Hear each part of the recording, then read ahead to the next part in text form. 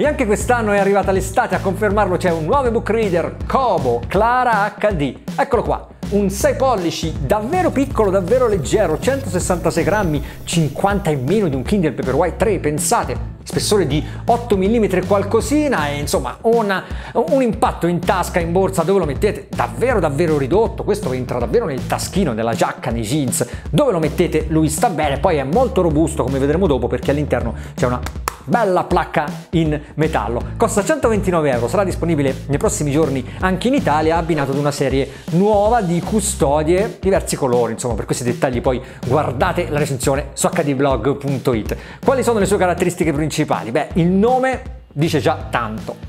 Clara deriva da Clarus, latino eh, no, luminoso, ma anche il nome proprio semplicemente chiaro e infatti il display è la parte più intrigante di questo nuovo ebook reader. Kobo ha inserito finalmente anche in questa dimensione da 6 pollici la tecnologia Comfort Light Pro che permette di regolare non solo l'intensità dell'illuminazione come si fa su tutti gli ebook reader di nuova generazione, ma anche il punto di bianco, ovvero la temperatura del colore. Quindi io posso metterlo più freddo, più azzurrino, oppure più giallo, più arancione, più caldo e quindi regolare questa cosa in base alle mie preferenze. Se sono all'esterno, se ho bisogno di concentrazione, se sto studiando, magari me lo metto un po' più freddo.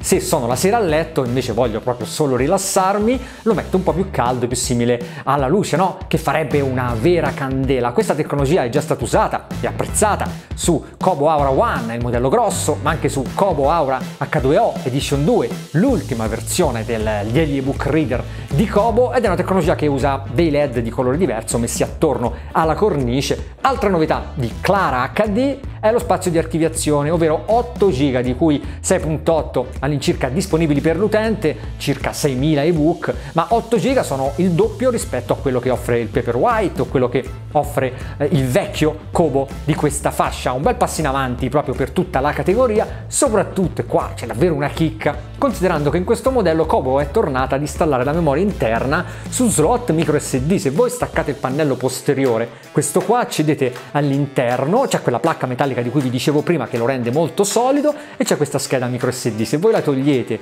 copiate eh, la sua immagine su una scheda più grossa, magari da 32 GB, potete sostituirla. Ci sono delle procedure online, anche perché il vero vantaggio degli ebook reader Kobo rispetto alla concorrenza è il supporto ai formati di tutti i tipi, no? E quindi non solo EPUB, MOBI e via dicendo, PDF chiaramente, ma anche CBZ e CBR, ovvero gli archivi dei fumetti. Chiaramente un 6 pollici resta sconsigliato, e lo ripeto, sconsigliato per i PDF perché è piccolo, i PDF si leggono bene su questi dispositivi solo nei modelli grossi da 13 pollici, quelli che costano tanto. Comunque restano tutte le cose che, che piacciono agli utenti Kobo che hanno reso questo brand molto più appetibile per chi è un utente esperto e ha bisogno un pochetto di andare a smanettare e personalizzarsi l'esperienza di lettura. Tra queste cose c'è ovviamente anche Pocket e secondo me è il vero punto di forza di questi dispositivi perché vi permette di leggere tutti gli articoli che trovate online, quello che volete, lo mandate a Pocket e ce l'avete sincronizzato sulle book reader, lo leggete con il suo schermo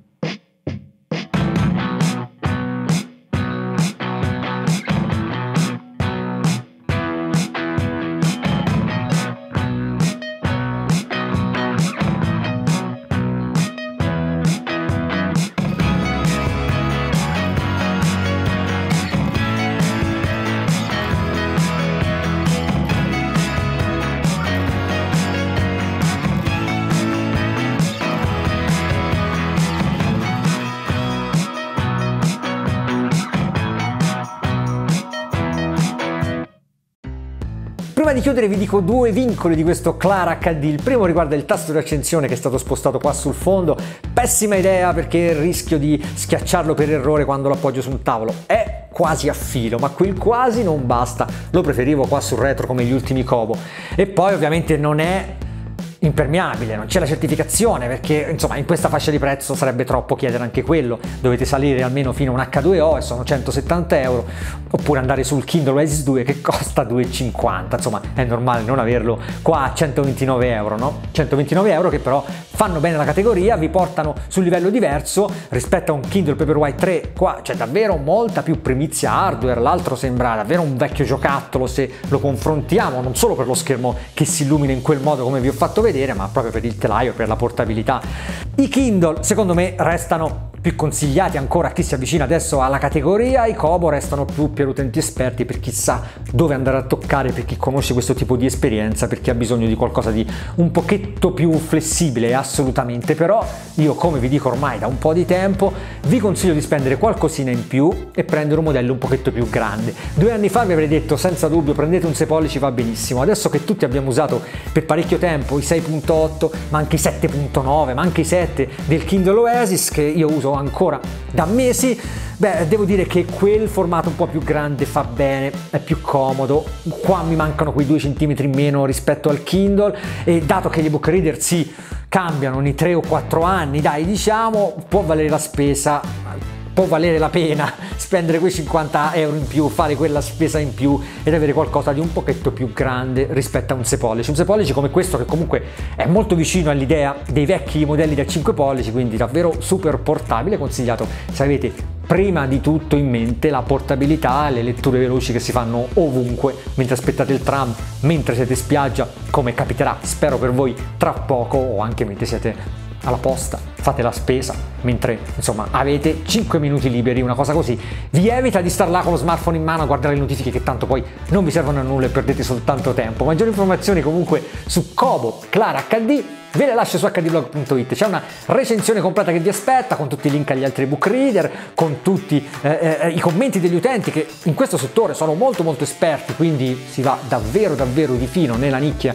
a cercare il difetto, a cercare il pregio che magari io non ho considerato in questa recensione. Per tutti questi dettagli appunto andate su hdblog.it. Qua sotto in descrizione vi lascio il link per raggiungere direttamente tutto questo insieme al pulsantino per mettere un mi piace e per iscrivervi al canale.